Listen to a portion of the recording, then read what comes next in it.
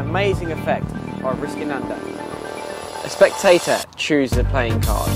They examine it back and front. They can even sign it if they want to before isolating it in their own hands. A totally different card is selected. A sticker is marked or initialed before being placed onto the back of that card.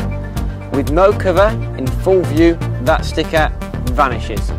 The spectator opens her hand, checks out their card to find that marked sticker has made the journey to their signed card, leaving them with an impossible souvenir.